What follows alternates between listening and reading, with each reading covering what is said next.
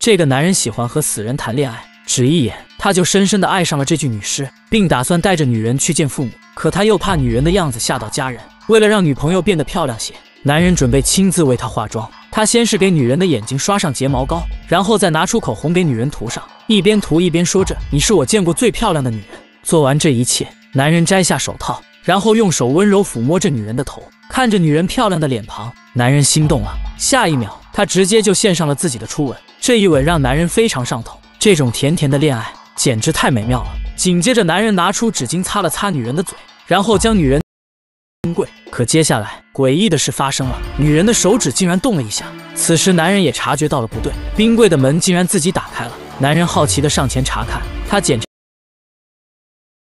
他再次将柜门关闭，可还没后又传来动静。男人猛地转过身，只见柜门又一次打开。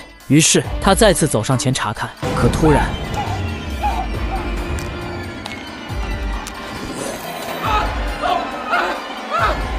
男人吓得大喊。可谁知，男人越是这样，女人越是兴奋。